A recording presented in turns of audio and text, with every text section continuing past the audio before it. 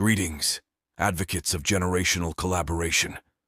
Today, let's celebrate the symphony of bringing together people of all ages to learn from each other, share experiences, and work together to create a brighter future for generations to come. A harmonious collaboration that bridges the generation gap, fosters mutual respect, and harnesses the collective wisdom and energy of youth and elders alike. Generational collaboration is not about pitting one generation against another or dismissing the contributions of different age groups.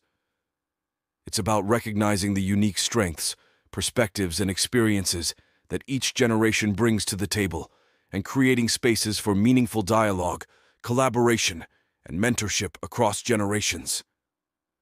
It's the recognition that, in dancing with generational collaboration, we create opportunities for innovation, creativity, and social change that transcend age barriers and build bridges of understanding and solidarity.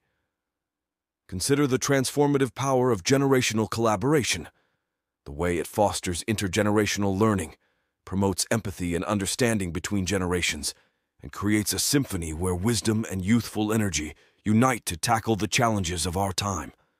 With generational collaboration, we become architects of a future where every generation is valued, respected, and empowered to contribute their unique gifts and talents to the greater good. So, my fellow advocates, let's embrace the symphony of generational collaboration. Let's create spaces for meaningful intergenerational dialogue, mentorship, and collaboration in our workplaces, communities, and societies. And remember that, in the dance of generational collaboration, we have the power to build bridges of understanding, foster empathy, and solidarity between generations, and create a world where everyone can thrive and succeed, regardless of age.